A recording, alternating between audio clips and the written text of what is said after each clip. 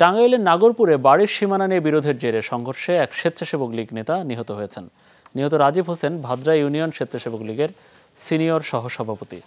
Police জানায়, সকালে বিরোধপূর্ণ জমিতে বেল পাড়াকে কেন্দ্র করে আজাহার ও রাজীবের মধ্যে কথা কাটাকাটি হয়, এক পর্যায়ে দুই পক্ষ সংঘর্ষে জড়ায়। ধারালো অস্ত্রের আঘাতে গুরুতর আহত হয় রাজীব। হাসপাতালে নেওয়া হলে তিনি মারা যান।